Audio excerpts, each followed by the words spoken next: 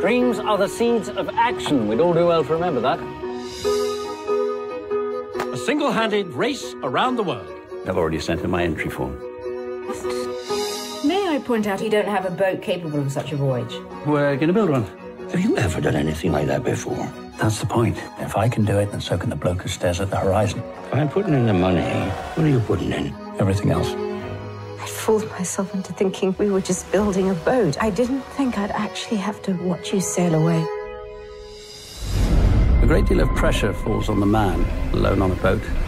The sea shows no mercy. Where are the leaders? 3,000 miles ahead. If I go on, my chances of survival would be 50 50. If I turn back, I face certain ruin. I can't go on, and I can't go home. I'm here. What if I tell them I'm here? This week, Donald Crowhurst has been posting some remarkable speeds. What do I do now? A new single-handed record! I'm out here alone! I thought I could play the game better. We're always connected, no matter how far apart we are. Tomorrow, and every day after, my children will still need their father. And I will still need my husband.